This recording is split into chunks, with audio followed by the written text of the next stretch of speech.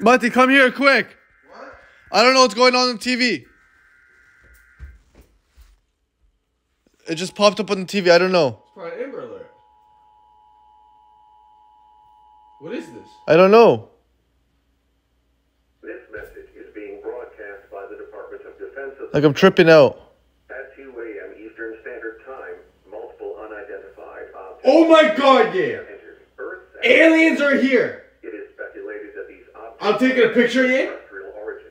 Like yo, I don't know what to do. Will quiet at this The world's ending. I have proof. carry out The following instructions. Bro, like what the hell? Oh my god. I'm gonna go die in bed.